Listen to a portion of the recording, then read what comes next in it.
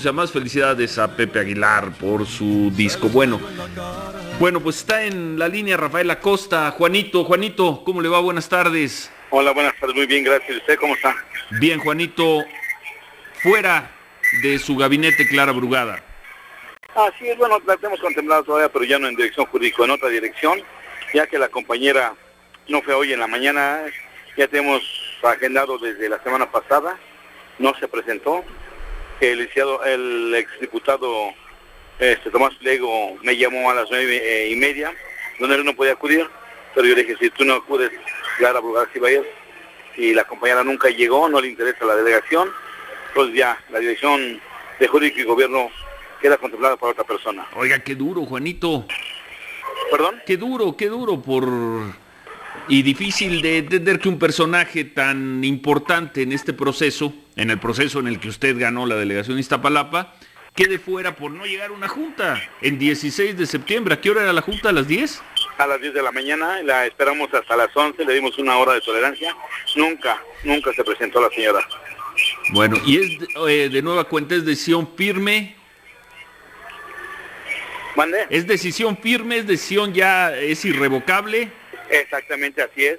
Así es, este, la compañía no se presentó aquí, no estamos jugando, estamos, eh, tenemos que estar trabajando por la dirección de Iztapalapa, no me puedo estar atrasando en mi plan de trabajo, y ni modo, pero somos la compañera tiene controlado otra dirección. Juanito, buenas tardes, habla Marisa Iglesias. Hola, buenas tardes. ¿Qué le vas a ofrecer a Clara? ¿En, en qué otra dirección la contemplas? Eh, pues vamos a platicar con ella cuál otra le interesa, pero ya jurídico y gobierno queda fuera de ella porque la compañía simplemente no acudió, no estuvo presente y no podemos estar esperando más tiempo hasta que ella quiera la compañera. Bueno, hay- hay- en el grito de los libres, el llamado grito de los libres ayer, el que dio López Obrador y Clara Brugada, se te envió un mensaje clarísimo, ¿no? Este, cumple con tu compromiso y si no lo haces estarás traicionando al movimiento. Juanito ha cumplido hasta la fecha en todo, los que no han cumplido son ellos, porque querían que yo renunciara sin pedir nada a cambio. Sabiendo que Clara Brugada había quedado muerta, estaba fuera de la jugada, y su servidor Rafael Acosta, Juanito, le dio vida a ella. La regresó a la jugada, y después de eso, me querían que, yo renunciara sin pedir nada a cambio. Y eso nunca iba a ser.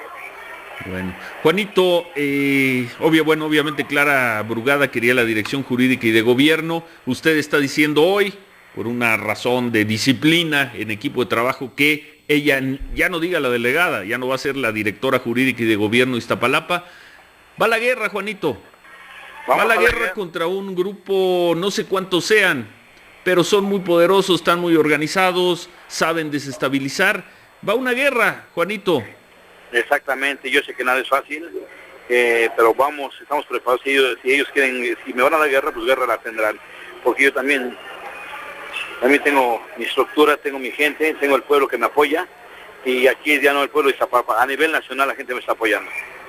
Pero bueno, en vez de estar eh, buscando un acuerdo, se están preparando eh, para enfrentarse, para estarse golpeando. No, yo no voy a enfrentar, yo vengo a trabajar por Iztapalapa, para eso la gente votó por mí, pero tampoco voy a dejar que, que los señores se pasen encima de mí. Bueno, ¿quiénes sí estuvieron, quiénes sí llegaron hoy a las 10 de la mañana a esta reunión de trabajo? Todos los medios de comunicación, los que invité, los que estuvieron ahí, ellos fueron testigos. Pero ¿quiénes de sus, de que van a formar parte de su equipo de trabajo? ¿Quiénes Ah, estaban ahí? la, Ahí estaban. La, la reunión era entre Clara Brugada, el, el exdiputado Tomás Pliego y yo, nada más los tres, Nada más los ¿Y tres. ninguno puerta- llegó? a puerta cerrada. ¿Perdón? ¿No llegó ninguno de los dos? Eh, no llegó, Tomás me habló totalmente que no iba a llegar, eh, que tenía otro compromiso, bueno, me habló hora y media antes, nueve y media de la mañana, perdón, ocho y media de la mañana, y Clara nunca se comunicó con un servidor. Uy, bueno. Ah, bueno, pues seguiremos, seguiremos esta historia. Se está acabando el tiempo, Juanito. Así es, estamos a acabando 14 el días, tiempo. estamos a 14 días, ya no podemos esperar más tiempo, ahorita lo más importante, ver cómo vamos a resolver los problemas de Iztapalapa, cómo vamos a trabajar con el pueblo, porque estamos a 14 días nada más, y estar pensando en otras cosas no vale la pena.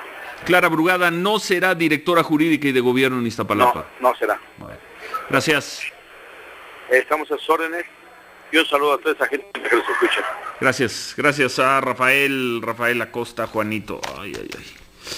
Ay, ay, ay, ay. Esto que ha pasado del, de la burla al pastelazo, a la farsa, a ver si no termina, si no a ver si no termina cosas, ¿eh? trágicamente, ojalá no, pero bueno, pues ahí ya lo escuchamos. Si quieren guerra, guerra tendrán, y yo también tengo mi estructura y gente que me apoya, eso acaba de decir.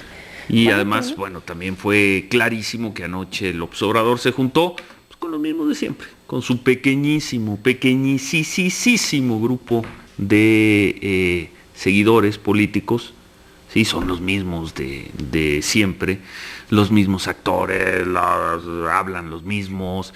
O sea, el movimiento López Obrador ha sido incapaz de generar del 2006 a la fecha, cuando menos nuevos protagonistas. Y ya pasaron tres años. El único nuevo que había generado, que había surgido por ahí era Se le Juanito. salió del guacal. Sí. Y bueno, y de rebote, Clara, Clara Brugada, son los mismos, ahí estaban además sus mismos seguidores de siempre, que ya vimos cuántos son, ya los contamos en las elecciones, en las elecciones de hace tres meses, las elecciones de julio, que es evidente que ningún López Obradorista convencido se iba a quedar en su casa y iba a dejar de votar. Cuando digo ninguno, me refiero a un bajísimo porcentaje de López Obradoristas, a lo mejor tuvieron algún problema y no fueron a votar ese día.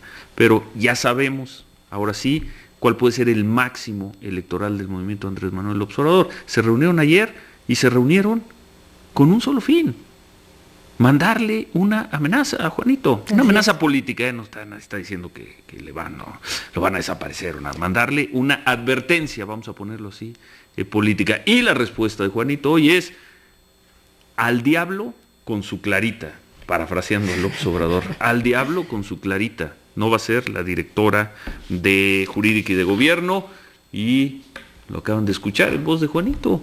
Le dijimos, le van a hacer la guerra. Pues ellos son profesionales de, de- de eso, de la movilización y de la presión política, y de la toma de calles y de la toma de, de más.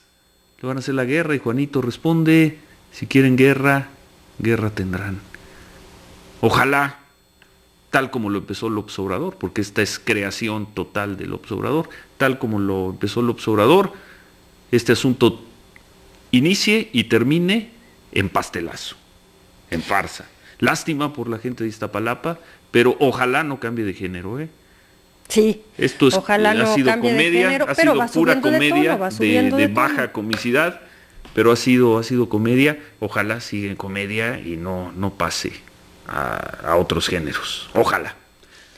No pase a tragedias, no pase a, a otras cosas. Pero ayer se juntaron para advertirle a Juanito. Y Juanito les dice, sáquense a volar, váyanse al diablo.